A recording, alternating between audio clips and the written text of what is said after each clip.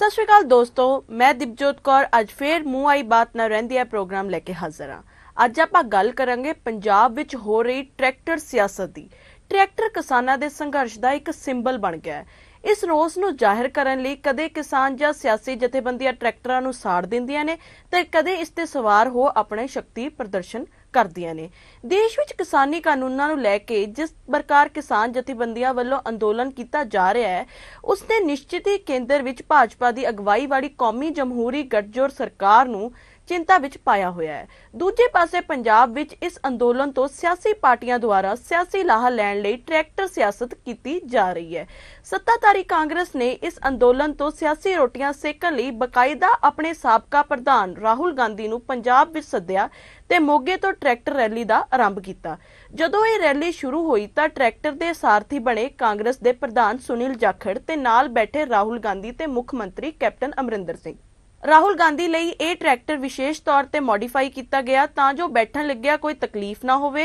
ਇਸ luxury tractor ਨੂੰ ਲੈ ਕੇ ਕੇਂਦਰ ਦੀ ਸੱਤਾਧਾਰੀ ਪਾਰਟੀ ਰਾਹੁਲ ਗਾਂਧੀ ਉੱਤੇ ਵਿਅੰਗ ਵੀ ਕੱਸ ਰਹੀ ਹੈ। ਜਿੱਥੇ ਜਿੱਥੇ ਵੀ ਸਟੇਜਾਂ ਲੱਗੀਆਂ ਉੱਥੋਂ ਰਾਹੁਲ ਗਾਂਧੀ ਨੇ ਪ੍ਰਧਾਨ ਮੰਤਰੀ ਨਰਿੰਦਰ ਮੋਦੀ ਨੂੰ ਵੰਗਾਰਿਆ ਤੇ ਕਿਹਾ ਕਿ ਜੇਕਰ ਕਾਂਗਰਸ ਦੀ ਸਰਕਾਰ ਆਵੇਗੀ ਤਾਂ ਇਹਨਾਂ ਕਿਸਾਨੀ ਕਾਨੂੰਨਾਂ ਨੂੰ ਸਭ ਤੋਂ ਪਹਿਲਾਂ ਰੱਦ ਕਰੇਗੀ।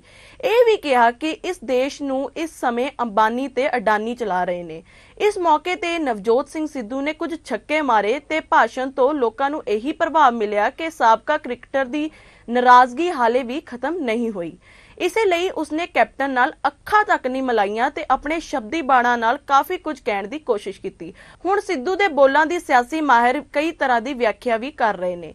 ਸਿੱਧੂ ਦੀ ਇਸ ਬਿਆਨਬਾਜ਼ੀ ਤੋਂ ਰਾਹੁਲ ਗਾਂਧੀ ਵੀ ਸਹਿਜ ਨਹੀਂ ਦਿਸ ਰਹੇ। ਇਸੇ ਲਈ ਸੰਗਰੂਰ ਰੈਲੀ ਵਿੱਚ ਸਿੱਧੂ ਸ਼ਾਮਿਲ ਹੀ ਨਹੀਂ ਹੋਏ ਤੇ ਦਿਸੇ ਮਨਪ੍ਰੀਤ ਸਿੰਘ ਬਾਦਲ ਵੀ ਨਹੀਂ। ਇਸ ਤੋਂ ਇਹੀ ਪ੍ਰਭਾਵ ਜਾ ਰਿਹਾ ਹੈ ਕਿ ਕਾਂਗਰਸ ਵਿੱਚ ਸਭ ਕੁਝ ਠੀਕ ਨਹੀਂ ਹੈ। ਮਤਭੇਦ ਚੱਲ ਹੀ ਰਹੇ ਨੇ। ਲੜਨਾ ਪ੍ਰਧਾਨ ਮੰਤਰੀ ਮੋਦੀ ਨਾਲ ਹੈ, ਪਰ ਲੱਗਦਾ ਇਹ ਹੈ ਕਿ ਅੰਦਰਲੀ ਲੜਾਈ ਪਾਰਟੀ ਨੂੰ ਕੁਝ ਜ਼ਿਆਦਾ ਖਰਾਬ ਕਰ ਰਹੀ ਹੈ। ਉਹ ਵੀ ਉਦੋਂ ਜਦੋਂ ਪਾਰਟੀ ਦੇ ਸੀਨੀਅਰ ਆਗੂ ਵਿਸ਼ੇਸ਼ ਤੌਰ ਤੇ ਪੰਜਾਬ ਆਏ ਹੋਣ। ਖੈਰ, ਰਾਹੁਲ ਉਸ ਟਰੈਕਟਰ ਨੂੰ ਅੱਗੇ ਵਧਾਉਂਦੇ ਹੋਏ ਪਟਿਆਲੇ ਵਿਖੇ ਵੀ ਪਹੁੰਚੇ। ਇੱਥੇ ਵੀ ਉਹਨਾਂ ਨੇ ਕੇਂਦਰ ਸਰਕਾਰ ਨੂੰ ਫਿਰ ਚੁਣੌਤੀ ਦਿੱਤੀ ਤੇ ਕਿਹਾ ਕਿ ਇਹ ਕਾਨੂੰਨ ਕਿਸਾਨਾਂ ਲਈ ਮਾਰੂ ਨੇ। ਫਿਰ ਉਹ ਹਰਿਆਣਾ ਲਈ ਰਵਾਨਾ ਹੋ ਗਏ। ਹਰਿਆਣਾ ਦਾਖਲ ਹੋਣ ਤੋਂ ਪਹਿਲਾਂ ਵੀ ਭਾਜਪਾ ਆਗੂਆਂ ਨੇ ਕੁਝ ਅਣਉਚਿਤ ਸ਼ਬਦ ਕਹੇ, ਪਰ ਅੱਗੇੋਂ ਜਾ ਕੇ ਅਜਿਹਾ ਕੁਝ ਨਹੀਂ ਹੋਇਆ, ਜਿਸ ਨਾਲ ਕਿ ਮੀਡੀਆ ਵਿੱਚ ਸੁਰਖੀਆਂ ਬਣਦੀਆਂ। ਚਰਚਿਤ ਤੇ ਬੜਬੋਲੇ ਨੇਤਾ ਅਨਿਲ ਵਿਜ ਨੇ ਕੁਝ ਮੱਧਭਾਗੀ ਸ਼ਬਦਾਵਲੀ ਵੀ ਵਰਤੀ। ਚਲੋ, ਸਿਆਸਤ ਹੈ, ਇਸ ਵਿੱਚ ਸਿਆਸਤਦਾਨਾਂ ਦੀ ਕਈ ਵਾਰ ਜੀਬ ਫਿਸਲ ਵੀ ਜਾਂਦੀ ਹੈ ਤੇ ਵਿਜ ਦੀ ਤਾਂ ਜੀਬ ਅਕਸਰ ਹੀ ਫਿਸਲਦੀ ਰਹਿੰਦੀ ਹੈ। ਹੁਣ ਸਵਾਲ ਇਹ ਪੈਦਾ ਹੁੰਦਾ ਕਿ ਇਸ ਟਰੈਕਟਰ ਰੈਲੀ ਨਾਲ ਪੰਜਾਬ ਕਾਂਗਰਸ ਨੂੰ ਕੋਈ ਸਿਆਸੀ ਫਾਇਦਾ ਹੁੰਦਾ ਹੈ ਕਿ ਨਹੀਂ? ਇਸ ਬਾਰੇ ਹਾਲੇ ਕੁਝ ਵੀ ਕਹਿ ਸਕਣਾ ਬਹੁਤ ਜਲਦੀ ਹੈ, ਕਿਉਂਕਿ ਪੰਜਾਬ ਦੀਆਂ ਸਾਰੀਆਂ ਹੀ ਸਿਆਸੀ ਪਾਰਟੀਆਂ ਇਸ ਸਮੇਂ ਟਰੈਕਟਰ ਉੱਤੇ ਸਵਾਰ ਹੋ ਕੇ ਕਿਸਾਨਾਂ ਦੀਆਂ ਚੈਂਪੀਅਨ ਬਣਨਾ ਚਾਹ ਰਹੀਆਂ ਨੇ। ਇਸੇ ਲਈ ਸਭ ਤੋਂ ਪਹਿਲਾਂ ਆਮ ਆਦਮੀ ਪਾਰਟੀ ਨੇ ਵੀ ਕਿਸਾਨਾਂ ਪ੍ਰਤੀ ਹਮਦਰਦੀ ਦਰਸਾਉਣ ਲਈ ਟਰੈਕਟਰ ਦੀ ਵਰਤੋਂ ਬਾਦਲ ਪਿੰਡ ਜਾਣ ਲਈ ਕੀਤੀ ਤੇ ਵਿਰੋਧੀ ਧਿਰ ਦੇ ਨੇਤਾ ਹਰਪਾਲ ਸਿੰਘ ਚੀਮਾ ਨੇ ਆਪਣੇ ਪਾਰਟੀ ਵਿਧਾਇਕਾਂ ਦੇ ਲੀਡਰਾਂ ਨਾਲ ਰਲ ਕੇ ਵਹੀਰਾ ਕੱਤਿਆ ਤੇ ਖੂਬ ਤਸਵੀਰਾਂ ਖਿਚਵਾਈਆਂ। ਜਦੋਂ ਅਕਾਲੀ ਦਲ ਨੇ ਕਿਸਾਨੀ ਮਾਮਲੇ ਉੱਤੇ ਯੂ ਟਰਨ ਲੈ ਲਿਆ ਤਾਂ ਆਪ ਦੀ ਯੋਜਨਾ ਧਰੀ ਤਰਾਈ ਰਹਿ ਗਈ। ਫਿਰ ਜਦੋਂ ਅਕਾਲੀ ਦਲ ਕੇਂਦਰ ਸਰਕਾਰ ਦੇ ਖਿਲਾਫ ਖੁੱਲ ਕੇ ਆ ਗਿਆ ਤਾਂ ਫਿਰ ਅਕਾਲੀ ਦਲ ਦੇ ਪ੍ਰਧਾਨ ਸੁਖਬੀਰ ਸਿੰਘ ਬਾਦਲ ਤੇ ਹਰਸਿਮਰਤ ਕੌਰ ਬਾਦਲ ਨੇ ਵੀ ਟਰੈਕਟਰ ਦੀ ਸਵਾਰੀ ਕੀਤੀ ਤੇ ਇਹ ਦਿਖਾਉਣ ਦੀ ਕੋਸ਼ਿਸ਼ ਕੀਤੀ ਕਿ ਉਹਨਾਂ ਨੂੰ ਵੀ ਟਰੈਕਟਰ ਚਲਾਉਣਾ ਆਉਂਦਾ ਹੈ। ਅਸਲ ਵਿੱਚ ਤਾਂ ਇਹ ਇੱਕ ਸਿਆਸੀ ਪੈਂਤੜਾ ਹੀ ਸੀ ਕਿ ਉਹ ਆਪਣੇ ਆਪ ਨੂੰ ਕਿਸਾਨਾਂ ਦੇ ਹਮਦਰਦ ਦਿਖਾਉਣਾ ਚਾਹ ਰਹੇ ਨੇ। ਇਹ ਨਹੀਂ ਕਿ ਸਿਰਫ ਭਾਜਪਾ ਵਿਰੋਧੀ ਪਾਰਟੀਆਂ ਹੀ ਕਿਸਾਨਾਂ ਨੂੰ ਆਪਣੇ ਵੱਲ ਖਿੱਚਣ ਲਈ ਟਰੈਕਟਰ ਸਿਆਸਤ ਖੇਡ ਰਹੀਆਂ ਨੇ। ਇਸ ਮਾਮਲੇ ਵਿੱਚ ਭਾਜਪਾ ਵੀ ਘੱਟ ਨਹੀਂ ਹੈ।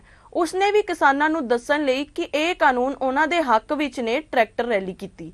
ਇਹ ਗੱਲ ਅਲੱਗ ਹੈ ਕਿ ਇਹ ਰੈਲੀ ਠੁੱਸ ਹੋ ਗਈ ਕਿਉਂਕਿ ਕਿਸਾਨਾਂ ਨੇ ਇਸ ਰੈਲੀ ਨੂੰ ਪਹਿਲਾਂ ਹੀ ਰੋਕ ਲਿਆ।